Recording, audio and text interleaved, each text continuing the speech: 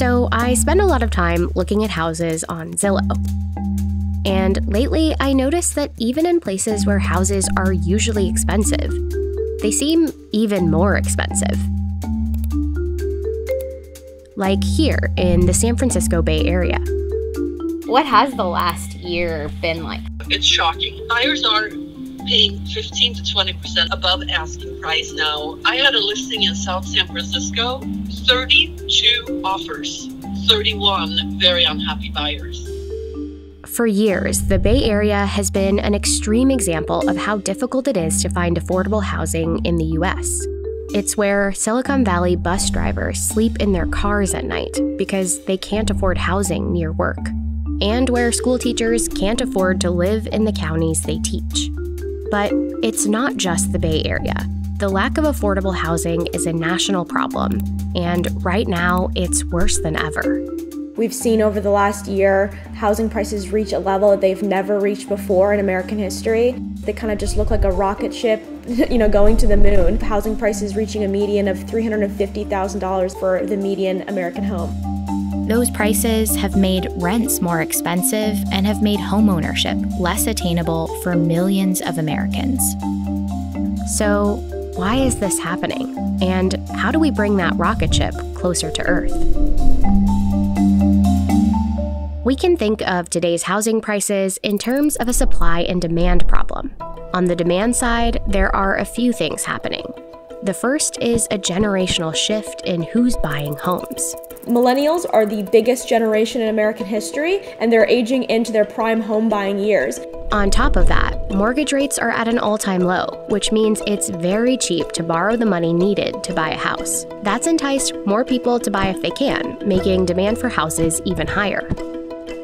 The problem is that supply isn't matching that demand. From 2010 to 2019, there were fewer homes built in the US than in any decade since the 1960s. In particular, the construction of smaller, entry level housing, the kind made for first time homebuyers, has dropped dramatically. In the 1980s, those starter homes made up around 40% of all homes built. Today, it's closer to 7%. In 2018, one estimate said the U.S. housing market was 2.5 million homes short of meeting demand. By the end of 2020, it was 3.8 million. And that's driving a big part of the problem, both for renters and for people who want to be homeowners. The shortage is worst in the places where demand is highest, near good jobs, transit, and schools. And one pretty straightforward solution to that is to just build more homes in those places. But for years, there's been one big obstacle to that. We aren't allowed to. Take a look at this map of the Bay Area. It's showing something called zoning, or local regulations that decide what can be built where. This much of the region is zoned for residential housing. In blue are areas zoned to allow multifamily housing, while the areas shaded in pink are zoned for single family housing only. That's 82% of all residential land in the Bay Area. What it means is that you've banned the ability for anyone to build anything other than a single unit of housing on that lot of land. And in many towns, like Atherton, they've excluded all multifamily housing from their neighborhoods. And that doesn't just mean a giant apartment building. It means things like duplexes, things like, um, you know, fourplexes, things like that are illegal in the majority of the country. This is an example of something called exclusionary zoning. It's a big part of the reason for the housing supply shortage in the US. And single family only zoning is just one way local laws limit how much housing we can build. Many places also employ height restrictions. In Cupertino, California, some areas are zoned for multifamily buildings, but they don't allow any buildings over two stories parking requirements are often written into zoning laws too. Cupertino requires developers to set aside space for two parking spaces for each unit of multifamily housing. That means if you were building an apartment complex that had 100 units, you'd need to find space for 200 parking spots, which usually means buildings that size don't get built at all. They lower the number of units they're actually building so they can save space for those parking spaces. And then those units become more expensive because the land still stays the same cost to the developer. And you then get a situation where potentially more affordable units turn into higher income um, servicing units. Another feature of many zoning laws is minimum lot sizes. It means builders are legally required to allot a minimum amount of land for each home, often a large amount of land. In Cupertino, most single family lots must be at least 5,000 square feet each. Starter homes are usually around 1,400 to 1,500 square feet, and so you've basically banned all that type of housing. In Atherton, the minimum lot size for homes is one acre, more than 43,000 square feet, which makes it virtually impossible to build any kind of affordable home there.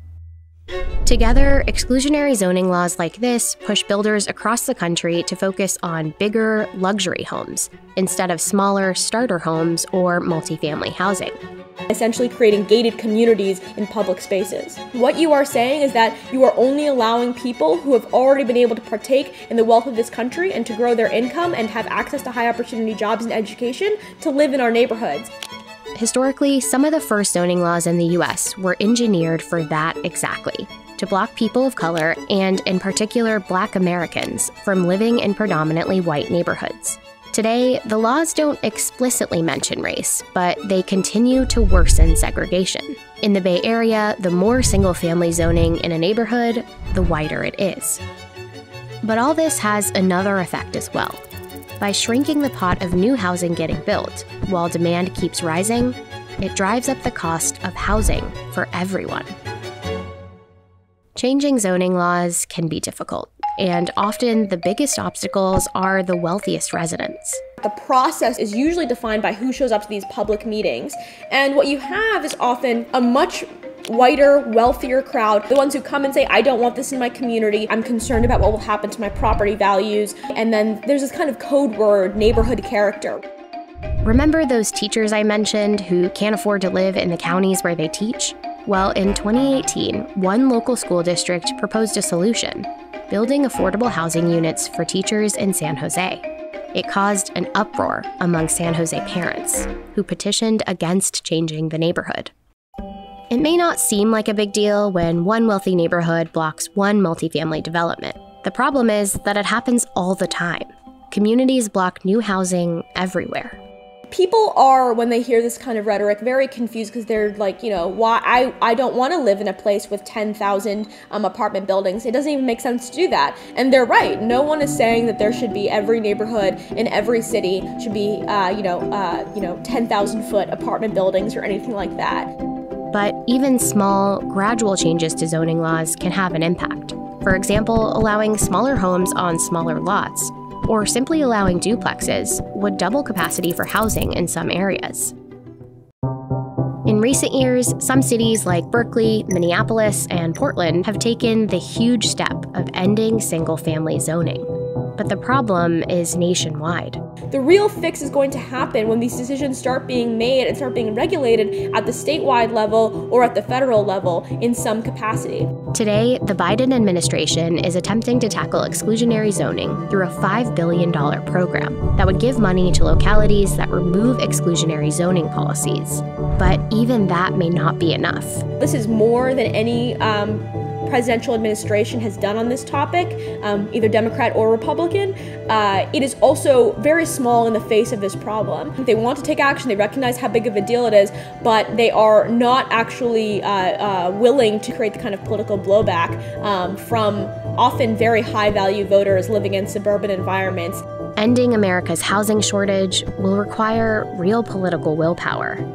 And it'll require people across the country to take a look at their own neighborhoods. What gets built, who gets excluded, and how to make homeownership achievable for the millions who are shut out.